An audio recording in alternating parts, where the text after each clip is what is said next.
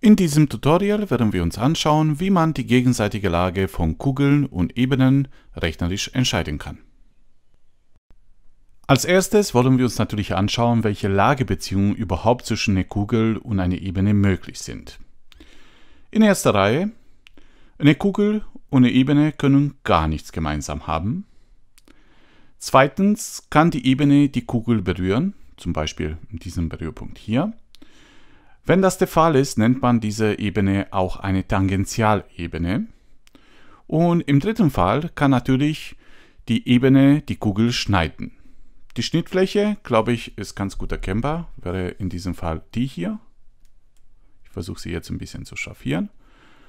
Und auch wenn die Perspektive ein bisschen drückt, das ist natürlich ein Kreis. Also wenn sie sich schneiden, entsteht ein sogenannter Schnittkreis. Als nächstes wollen wir einen Ansatz finden, mit dem wir diese Lagebeziehungen entscheiden können. Wir schauen uns jetzt ein bisschen genauer die Abbildung hier an. Wir haben eine Kugel mit der Mitte m, also m ist der Mittelpunkt der Kugel, und Radius r. Und ich habe mich jetzt für diesen Fall entschieden, wo die Ebene in diesem Fall die Kugel berührt. Das ist hier in diesem Berührpunkt.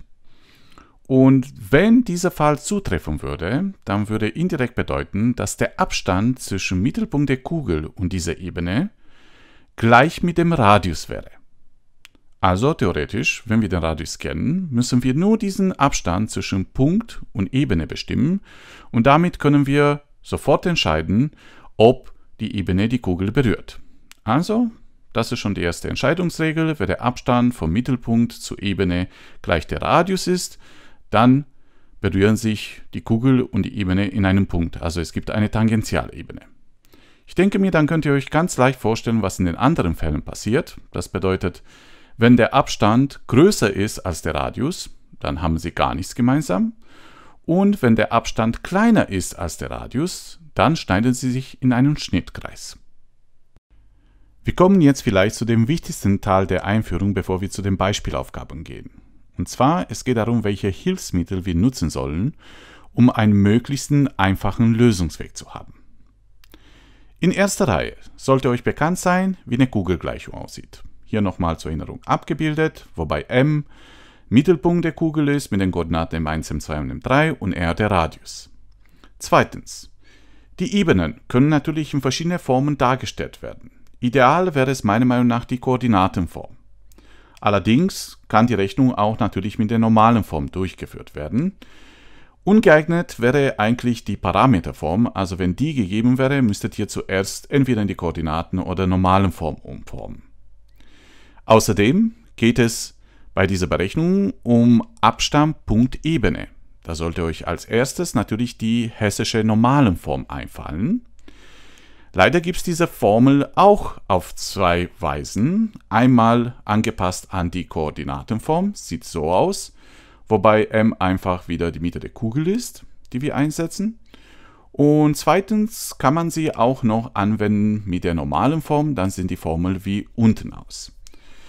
Um möglichst einen einfachen Lösungsweg zu wählen, würde ich persönlich hier an dieser Stelle natürlich die Koordinatenform der Ebene empfehlen. In Zusammenhang mit dieser Form hier der hessischen normalen Form ist, wie gesagt, meiner Meinung nach der einfachste Lösungsweg. Und hier ist schon die erste Beispielaufgabe. Untersuche, ob die Kugel um den Ursprung mit dem Radius 6 die Ebene E schneidet, berührt oder keinen Punkt mit E gemeinsam hat. Wenn euch das zu schnell ging, dann bitte auf Pause drücken, nochmal in Ruhe die Aufgabenstellung lesen. Beim Lesen der Aufgabenstellung sollten euch folgende Sachen auffallen. In erster Reihe die Tatsache, dass der Ursprung der Mittelpunkt unserer Kugel ist. Den können wir auch hier mal ausschreiben. m hat dann die Koordinaten 0, 0 und 0. Zweitens, der Radius ist gegeben. Das bedeutet, wir haben bereits schon den Vergleichswert für unser Abstand. Wir erinnern uns, wir müssen ja entscheiden, ob der Abstand kleiner, gleich oder größer als der Radius ist. Also, das Einzige, was wir hier noch machen müssen, ist eigentlich den Abstand zwischen m und dieser Ebene e zu bestimmen.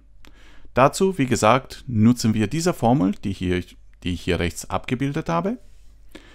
Zur Erinnerung, die hessische Normalform funktioniert wie folgt. Also ich schreibe jetzt abgekürzt hier d vorne. wir haben einen langen Bruchstrich. Oben im Zähler wird immer der Punkt in dieser Ebene für x1, x2 und x3 eingesetzt. Entsprechend haben wir dann hier sehr vereinfacht 2 mal 0 plus 3 mal 0 plus 6 mal 0 und am Ende noch minus 49. Also die Zahl, die rechts bei der Ebene steht, wird mit umgedrehter Vorzeichen rübergebracht. Alles im Betrag. Und unten finden wir die Länge des Normalvektors. Der Normalvektor sind genau die Koeffizienten für x1, x2 und x3, also in diesem Fall 2, 3 und 6. Also rechnen wir kurz aus. 2 ins Quadrat plus 3 ins Quadrat plus 6 ins Quadrat. Wir fassen jetzt alles zusammen. Oben bleibt nur noch Betrag aus minus 49. Und unten haben wir 4 plus 9 plus 36, das sind dann Wurzel aus 49, was natürlich wiederum 7 ist. Also 49 durch 7 sind natürlich 7.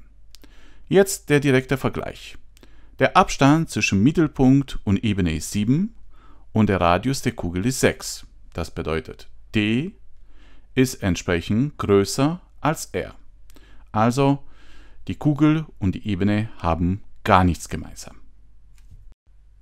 Die zweite Beispielaufgabe. Untersuche, ob die Ebene E die Kugel K schneidet oder berührt. Also der Unterschied zu der vorherigen Aufgabe ist die Tatsache, dass hier der Mittelpunkt der Kugel gar nicht gegeben ist, aber dafür haben wir eine Kugelgleichung. Zum Vergleich, das ist die allgemeine Gleichung einer Kugel. Das bedeutet, wir müssen uns zusammenreimen, was hier Mittelpunkt ist, bzw. Radius.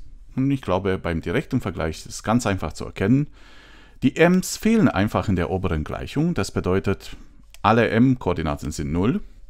Entsprechend hätte dann der Mittelpunkt hier die Koordinaten 0, 0, 0. Und der Radius kann man hier hinten ablesen. Diese 1 ist eigentlich eine 1 hoch 2. 1 hoch 2 sind 1.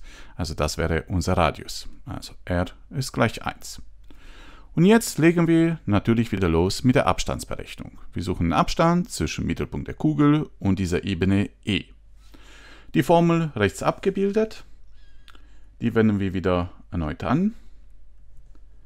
Als erstes setzen wir wieder unser Mittelpunkt 0, 0, 0 in unsere Ebenengleichung ein. Entsprechend haben wir dann 2 mal 0 plus 2 mal 0 plus 1 und minus 3. Das Ganze natürlich im Betrag. Und unter dem Nenner mal wieder die Länge des Normalvektors. Die Koordinaten können wir wieder hier ablesen. Entsprechend ist hier eine 1 vor dem x3. Also haben wir 2 ins Quadrat plus 2 ins Quadrat plus 1 ins Quadrat. Oben bleibt dann nur noch Betrag aus minus 3, was natürlich wiederum 3 ist. Und unten haben wir Wurzel aus 9, was auch 3 ist. Also 3 geteilt durch 3 sind natürlich 1. Und beim direkten Vergleich sollte euch auffallen, dass der Abstand zwischen Mittelpunkt und Ebene identisch ist mit dem Radius der Kugel. Das würde bedeuten, dass sich die Kugel und die Ebene berühren. Übrigens ein kleiner Hinweis an dieser Stelle, in diesem Tutorial geht es ausschließlich nur um die gegenseitige Lage. Wenn ihr Aufgaben zum Aufstellen von Tangentialebenen sucht, das findet ihr alles am Ende im Abspann. Und die letzte Beispielaufgabe. Zeige, dass die Ebene E aus der Kugel K einen Kreis ausschneidet. Auch hier haben wir eine Ebene in Koordinatenform gegeben und eine Kugelgleichung. Natürlich ist unser erster Ziel wieder, diesen Mittelpunkt bzw. den Radius abzulesen. Mal wieder durch direkter Vergleich mit der Kugelformel können wir, glaube ich, problemlos nachvollziehen, was die Koordinaten des Mittelpunktes sind. Also der Mittelpunkt hätte dann die Koordinaten 5 2 und 1. Und der Radius hier, r Quadrat soll 49 sein, also selbstverständlich muss der Radius oder ist der Radius 7. Dann brauchen wir wieder die Abstandsformel, die ich hier rechts abgebildet habe. Und die wenden wir hier an der Stelle an. Also d ist gleich. Genauso wie vorher setzen wir alles ein. Also erstmal m in die Ebenengleichung für x1, x2 und x3 Entsprechend haben wir dann 2 mal 5 plus 2 mal 2 plus 1 und minus 6. Selbstverständlich alles im Betrag. Und das Ganze durch die Länge des Normalvektors und er lautet mal wieder 2 ins Quadrat plus 2 ins Quadrat plus 1 ins Quadrat. Wir fassen alles zusammen. 10 plus 4 sind 14, plus 1 sind 15, minus 6 sind 9. Und unten haben wir dann praktisch Wurzel aus 9, was wiederum 3 ist. 9 geteilt durch 3 sind 3. Und beim direkten Vergleich mit dem Radius stellen wir natürlich fest, dass dieser Abstand hier d deutlich kleiner ist als der Radius. Also wir haben mit Sicherheit einen Schnittkreis. Auch hier der kleine Hinweis, wenn ihr Aufgaben sucht, wo man die Gleichung dieses Schnittkreises aufstellen muss, findet ihr alles im Abspann. Zum Schluss noch ein paar Hinweise. In Bezug auf Kugel und Ebene gibt es natürlich auch mehr zusammenhängende Themen.